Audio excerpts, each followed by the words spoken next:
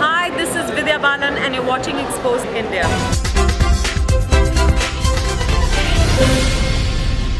Congress के पूर्व union minister Akhilesh Das Gupta का दिल का दौरा पड़ने की वजह से निधन हो गया।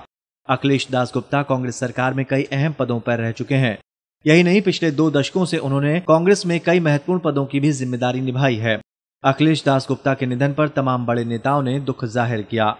आपको बता दें कि अखिलेश दास गुप्ता का अंतिम संस्कार भैंसा कुंड पर शाम पाँच बजे किया गया